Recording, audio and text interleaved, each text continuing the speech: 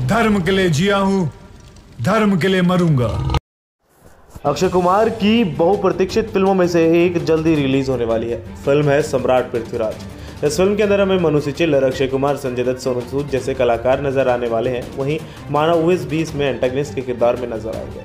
वहीं फ़िल्म एक सच्ची घटना पर आधारित फ़िल्म होने वाली है, जहाँ पर पृथ्वीराज, मोहम्मद, गौरी से टकराएँगे।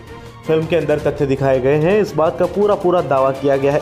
वहीं एक बड़ी खुशखबरी अक्षय कुमार की इस फ़िल्म के लिए आ गई है, जो कि कमाई के मामले के अंदर उनको काफ़ी पॉजिटिव एस्पेक्ट दिखाएगी। ये है अक्षय कुमार की फ़िल्म का टैक्स फ्री होना। जी हाँ दोस्तों इंडिया नहीं, लेकिन इंडिया के एक स्टेट यूपी के अंदर इसे टैक्स फ्री कर दिया गया है। यानी आप जानते ही है, योगी सरकार ने इसे टैक्स फ्री घोषित कर दिया है। अब इस फ़िल्म के ऊपर कोई भी टैक्स नहीं लगाया जाएगा। और ये एजुकेशनल पर्पज़ के लिए फ़िल्म बनाई गई है। खुद अक्षय कुमार ने भी यही बात कही है कि मैं इतिहास दिखाना चाहता था, इसलिए मैं इस फ़िल्म से जुड़ा था। चंद्र प्रकाश द्विवेदी एक बहुत ही अच्छे हिस्टोरियन हैं। और वो अब इस फ़िल्म को डायरेक्ट कर रहे हैं। तो आप समझ ही सकते हैं कि फ़िल्म कितनी ज़्यादा साफ़ सुथरी सामने निकल कर आएगी।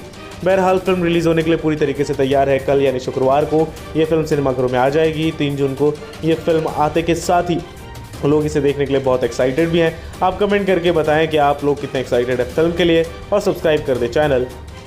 देखो देखो, को।